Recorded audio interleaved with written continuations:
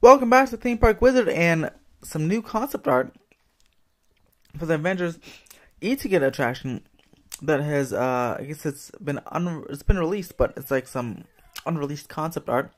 It's been floating around in the Twitterverse lately. I guess an artist shared it to his portfolio and uh yeah, he didn't realize that it was the Avengers e-ticket attraction this first two things I'm not too sure though. The first two might be um what was gonna be the Doctor Doctor Strange's Sanctum Sortum, like for the Doctor Strange show, because if you look it looks very mystic artsy.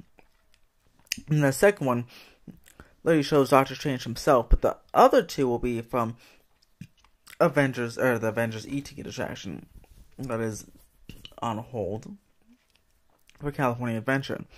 But that looks very interesting. Looks like and again looks like kind of like like a a dojo almost with that first concept art. And here it is again the Sanctum Sortum.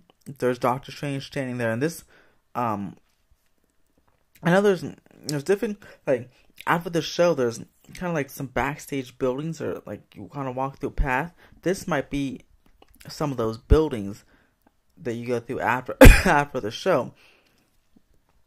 But we'll have to see fully when um when the show and land debut later in the summertime. But it looks pretty good. It looks very festive. I love Doctor Strange, um, one of my favorite MCU movies, and I, I, I still hope we can get. Uh, I still wishing we can get like a Mystic Manor type ride, but themed to Doctor Strange or themed themed to the Sanctum Sortum. That'd be pretty awesome. But moving on to the Avengers E ticket. Look at these cool concept art. This is amazing. This is really good. Look at this. Um, this is these are shots of the queue line and maybe pre-show area of what would be again the Avengers e-ticket attraction. And this is there's just look at these high ceilings. Here, obviously, we're looking at a second level here. I don't know what we're looking down at. Um, maybe looking at just more queue line down below because we're on the second level of something of this massive building here.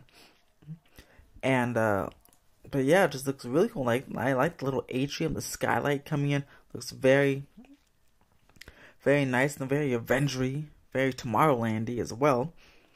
Um, which is great. I like how DCA has its own Tomorrowland kind of now, but just themed to Avengers. It's Tomorrowland with an IP.